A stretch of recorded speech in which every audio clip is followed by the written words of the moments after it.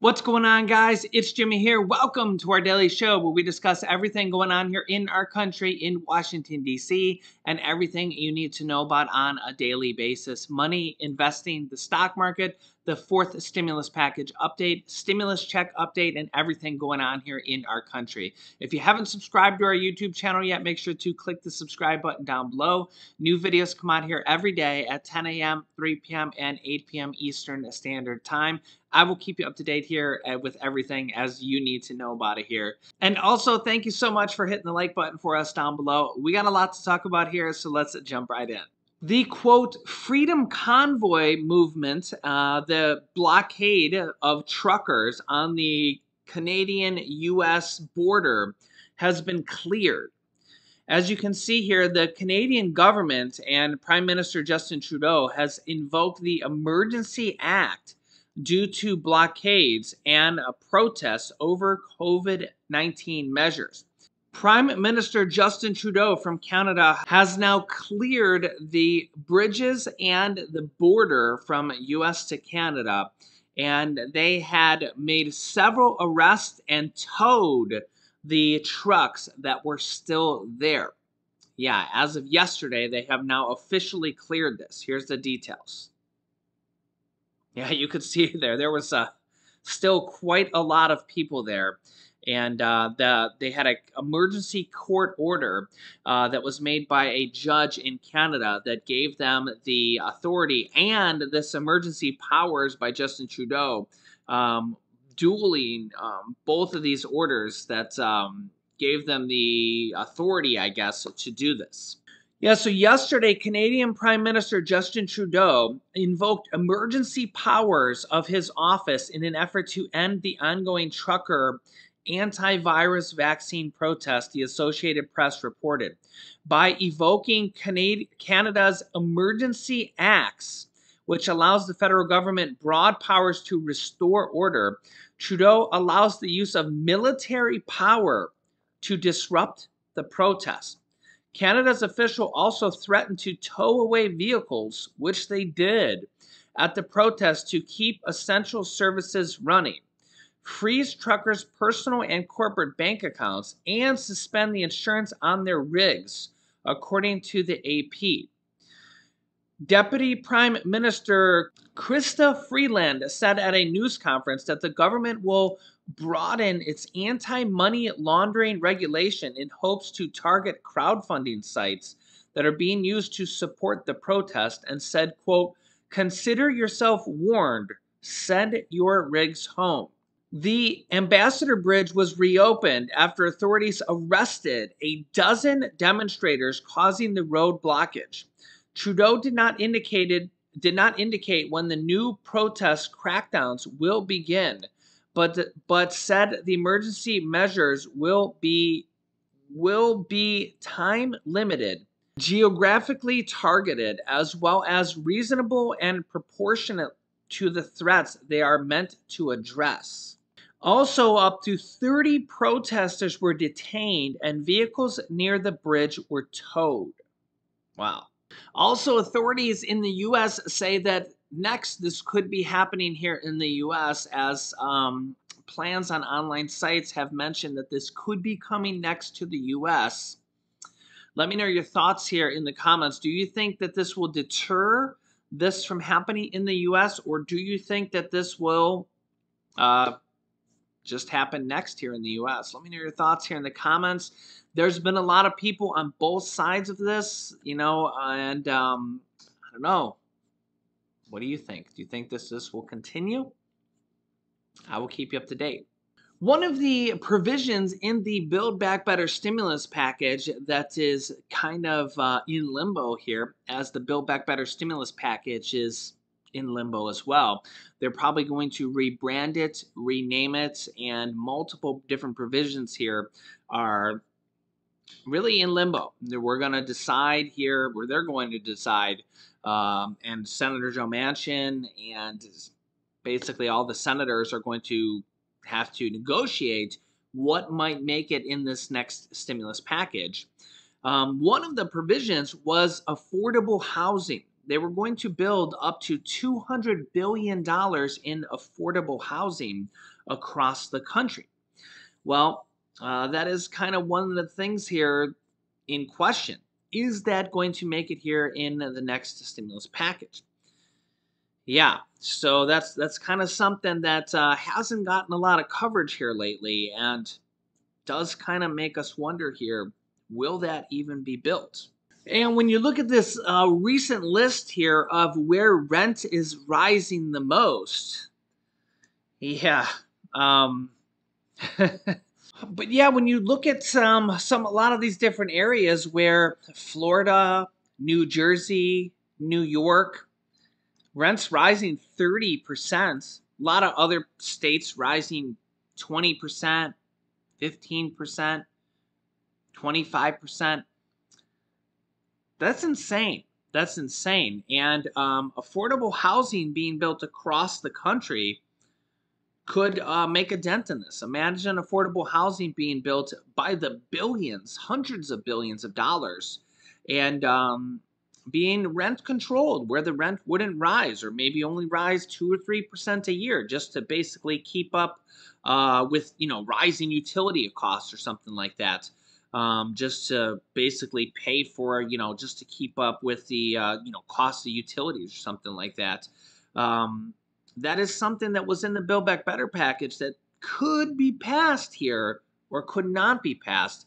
But a lot of people are struggling with uh, costs like this. I mean, you look at the cost of rents rising in all these different places, it's insane. It's really insane. And uh, this is just uh, yet another thing here that um, the middle and lower middle and low income classes here are just really struggling with here. If you're on fixed income, if you're a senior, if you're on low income, or if you have children and you're not getting those child tax credit payments anymore, if you're in any of those categories, this is where it hurts you the most. This is where it hurts you the most. And this is why 63% of Americans right now are paycheck to paycheck or behind on their bills. And, uh, yeah, this is where it's just uh, really hitting home the most, and this is where uh, you kind of got to wonder here when you when you see Congress with uh, 800 billion dollars in stimulus money that's already been approved, right? Kind of makes you wonder.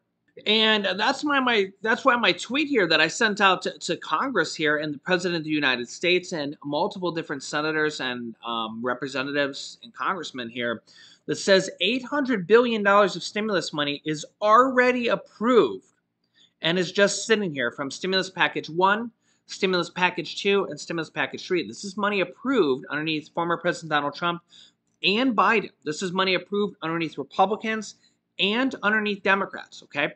Um, this is money that is already appropriated.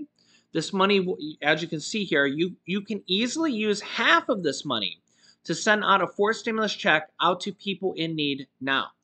This will not add to the debt, the national debt, or add to inflation because it's already been appropriated. This money has already been theoretically added to the debts. It's already been theoretically added to the inflation because it's already been printed per se. Okay? It's already been added to both of those things, okay? It's it's already been printed. Okay, if you kind of uh, understand how that's work, it's it's already been printed, it's already been allocated, it's already been approved. All those things are already done. It's already sitting in an account, and the government has it. Okay, and um, I mean, if you know anything about uh, interest, is if it's just sitting in a bank account, it's earning it's earning like zero point zero five percent. So the government's not really earning any money on it of interest. Okay, uh, if if the if the government even earns money on its own money, right? Uh, if the government even earns interest on its own money, right? So the reality of it is here is they need to decide who to send this out to. It's $800 billion of stimulus money. And 63% of Americans are living paycheck to paycheck or are behind on bills right now. They can literally just send this out to Americans that are behind on bills, low income, middle income, right now, they can send this out through an executive order and just reappropriate it, or they can just have Congress just, you know, say, all right, let's just send this out um, as a stimulus check and just use the old stimulus money. We don't even have to pass a single dollar of new money. Okay? So this won't add any new money to debt or inflation. Yeah, they won't need to spend a single dollar of new money. So everybody all concerned about inflation when it comes to providing for people. I get it. I'm concerned about inflation too. But we have to help people now, right? What's one of the best ways to help people with inflation is to actually help them out, right? Let's give them something to, okay, if people can't afford food right now, help them out, right? And honestly, if you actually look right now, um, there's dozens and dozens and dozens of states that are actually giving extra SNAP benefits, right? So if you think about it, if people can't afford food, what do you do? You give them money for food. If people can't afford housing, what do you do? You give them money for housing people can't afford utilities and electric, you give them money for electric, right? If people can't afford anything, you give them money, you give them stimulus checks, right? So I understand the whole like inflation thing, right? But if there's $800 billion of stimulus money that's already been approved, give it to the people who need it. It's stimulus money, right? What else are they going to do with it? Eventually, they're going to figure out that they need to send it out the longer they wait, it's just it's just hurting more and more people.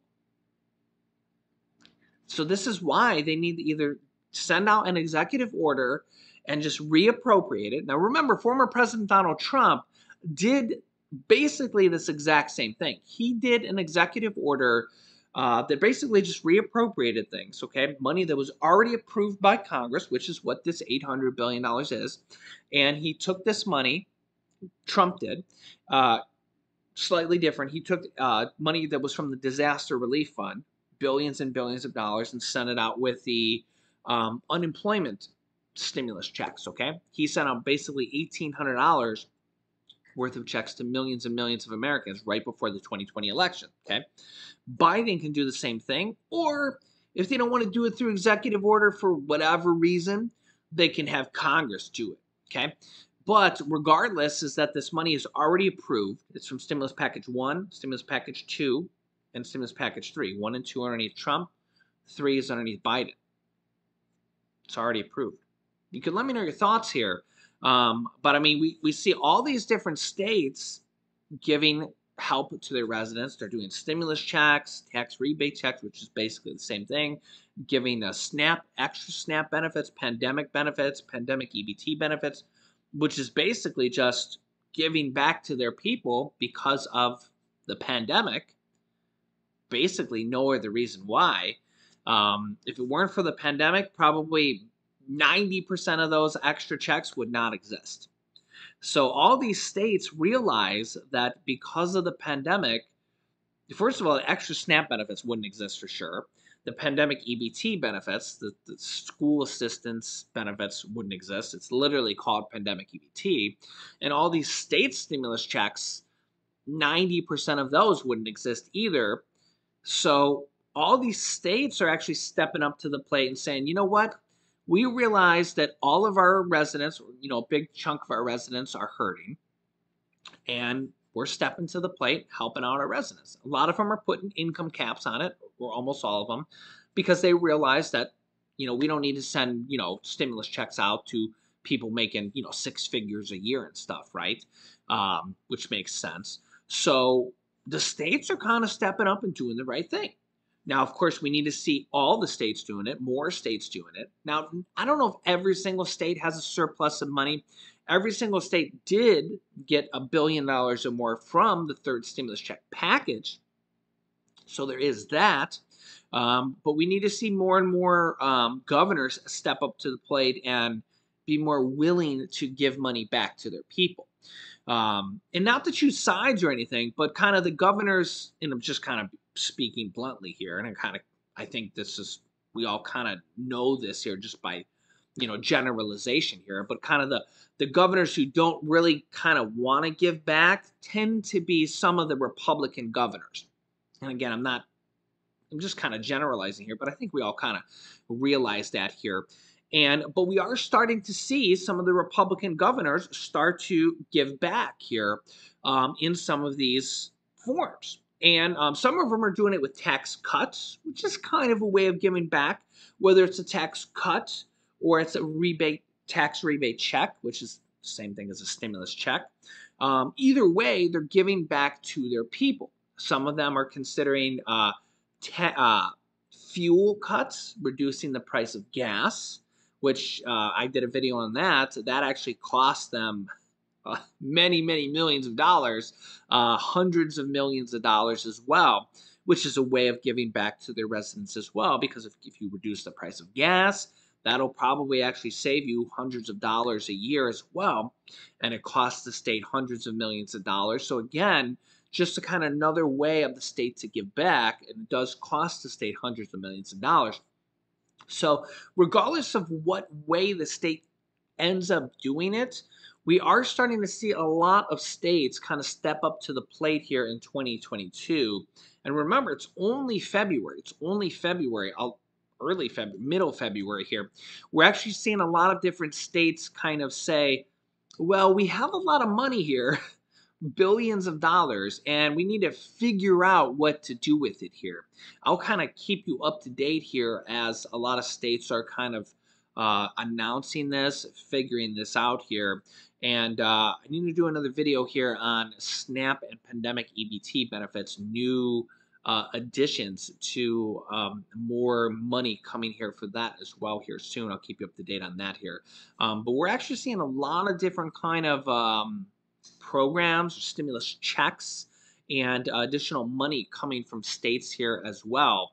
Um, but we need the federal government to do this here as well. So don't forget to email, tweet, and call your senators and your representatives saying, listen, just like I did on Twitter, I'm going to continue to do that, be a voice here for you guys as well.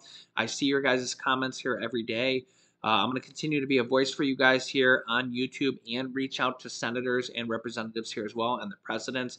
Um, I, I see your guys' voice. I want to be a voice here, or I see your guys' comments. I want to be a voice here for you guys as well. Um, but don't forget, let's all be a voice here together. So let me know your thoughts here in the comments and make sure to click the subscribe button down below if you haven't joined our um, YouTube channel as a subscriber. It's completely free to do so. It literally just takes two seconds. Click the subscribe button. This way you won't miss out on new videos that come out here every day at 10 a.m., 3 p.m., and 8 p.m. Eastern Standard Time. After subscribing, click the bell icon next to the subscribe button to get reminders on your device when we go live with new videos. And if you didn't see my last video, uh, click here to watch my most recent video. And my son was at the end of that video wishing you guys a happy Valentine's Day. You definitely want to see that if you haven't yet. So click there to watch my most recent video. Thanks for watching, guys, and I will see you in the next video.